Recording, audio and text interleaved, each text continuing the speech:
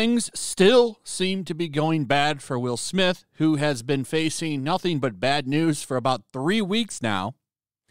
And I don't know when this is going to like settle down. I really don't. I thought it would have like a week and a half ago. But stuff just see it just keeps coming out.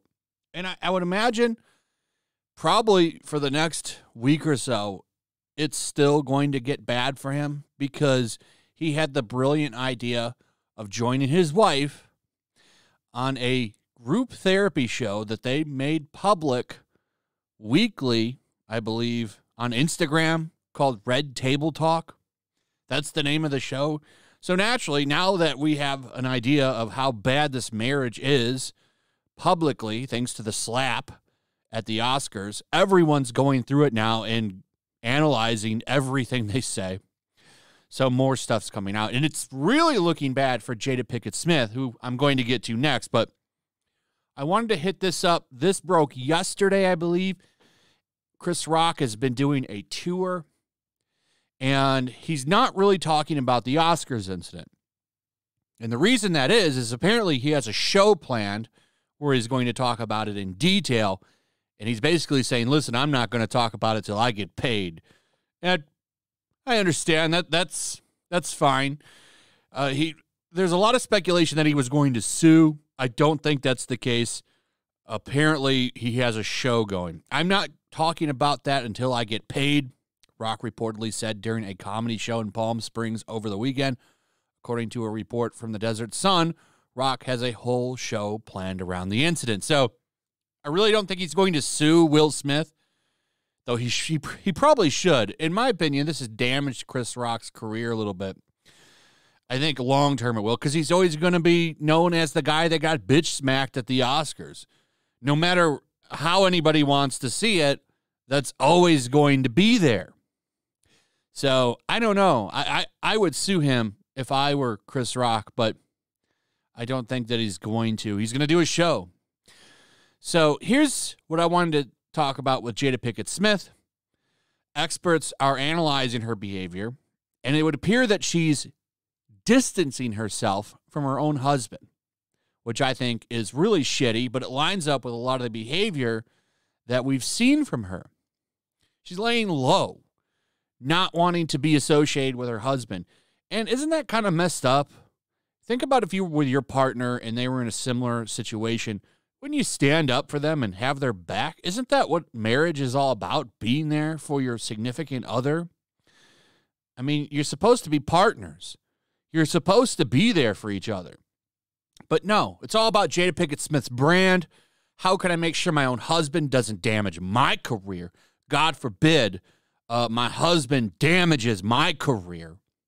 She's she hasn't had his back at all. In fact, she's come out and and blamed him She's taking back her defense of him publicly. I'm going to walk that back. Uh, I didn't mean to defend my own husband. She should be on top of a car screaming, My husband is a good man, good father, loves his family, and loves me. No, she's not doing any of that. Instead, she's smearing the man publicly. This doesn't make her look good.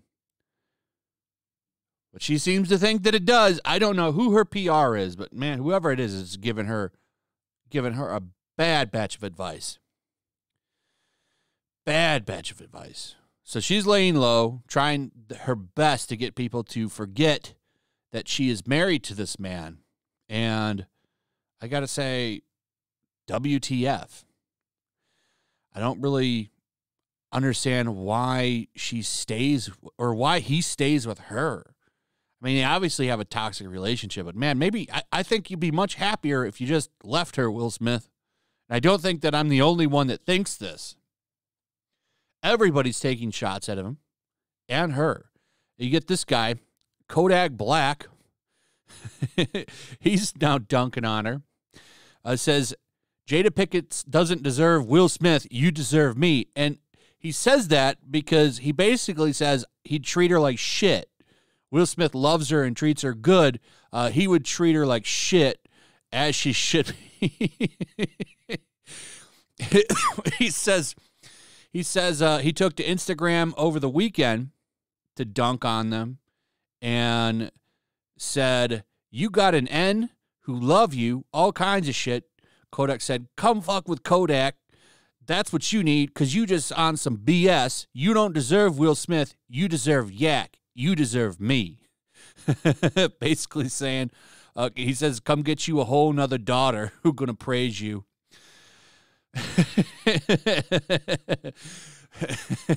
Everyone's coming out on this.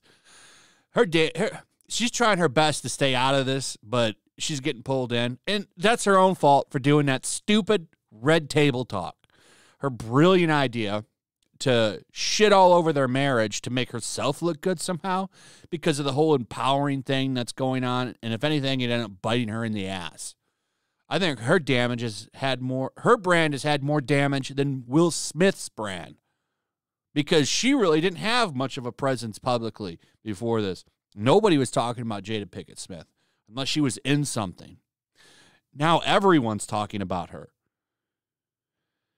So, anyway, let me know what you guys think about all of this. I'd like to hear from you. Also, if you would, please like, subscribe, share the video. Make sure you're still subscribed. Hit that notification bell. I'll see you guys on the next one. Peace. Also, if you want to help support the channel, check out my Teespring store. There's a link in the description. You can find some merchandise in there that you might want to check out.